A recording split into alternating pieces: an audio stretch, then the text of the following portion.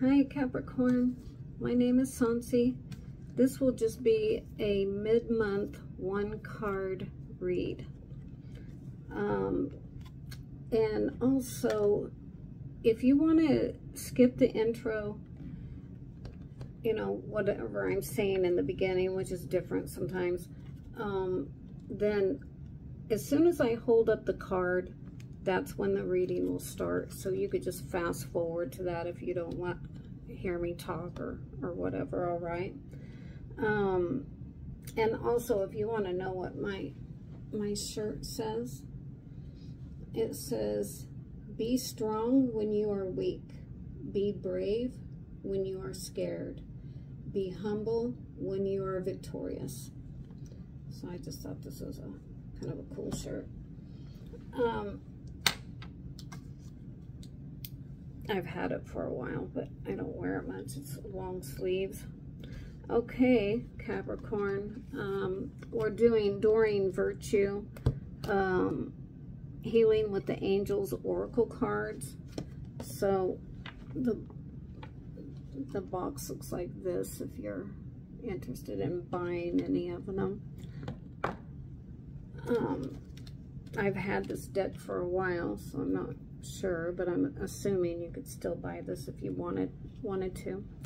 Um, but anyway, your first card is Divine Guidance. Well, this is your only card. I'm only doing one card mid-month.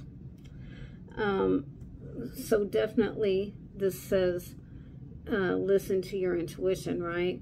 Uh, that inner voice and uh, and you are being divinely guided.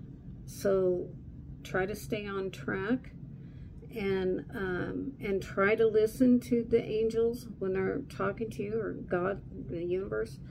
Um, also, I would pay attention to when you're dreaming because messages can come in all forms. Like you could see a billboard uh, that says something that you need to hear or something that you need to pay attention to, or it could be a commercial on TV or uh, or just anything. So just pay attention to how um, the angels are trying to guide you because they are trying to guide you. And this is the month. I, I think every sign is going to be busy this month and things are happening. So that's good.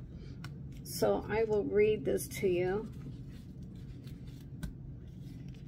Uh, divine guidance. You are being divinely guided right now. The gut feelings you have, the knowingness, the visions, or the inner voice are all trying to tell you something. And it is very important that you trust and follow this guidance.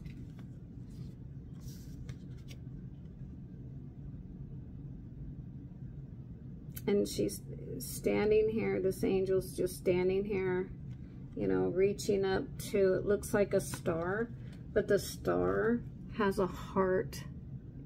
It's a heart-shaped star. So it could mean, you know, matters of the heart. Uh, it could have something to do with being divinely guided with a relationship. Uh, it could be a love relationship. It could be, you know, son, daughter, mother, father, friends. It could be any type of relationship. But I do think it has to do with matters of the heart, since there's a heart here. All right, guys. Well, I think this is it. Hope you have a great rest of your month. And um, please leave a comment and a like, and please sub. I'm really trying to grow the channel so I can, you know, uh, do this more often. So if when I get more subs, I'll be able to cut down my hours at work um, a little bit, and then I'll be able to um, do more readings. All right. Okay, guys. Hope you have a good one, and I'll see you on the next one. All right. Bye-bye.